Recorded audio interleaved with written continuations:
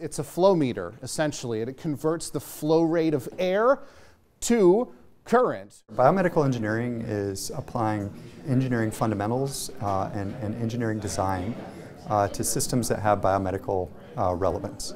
It requires from the engineers that are, are uh, doing that type of engineering uh, intimate uh, understanding of the physiology, anatomy, the biological system, uh, and then it then it requires them to understand engineering fundamentals. It says like the first value is the average TV calculation. Mainly because it's so new, it felt like going into a new field would be the most exciting for me. To me, biomedical engineering is kind of the intersect of all the fields of engineering, so it just kind of called to me. You can do a lot with it. It's really adaptable it just kind of feels like the natural endpoint of engineering to me. So we just want to analyze this. Yeah, because that's that's two and a half liters, okay. not six thousand. Yeah. I would say the students that just are really committed to the program at this point are they're almost excited about it to be the inaugural class of the program. Um, certainly brings a lot of unknowns, but brings a lot of excitement for them as well. Honestly, I thought it would be cool to be the guinea pig and go be the first to go through, and that was kind of my deciding factor. And I love helping people and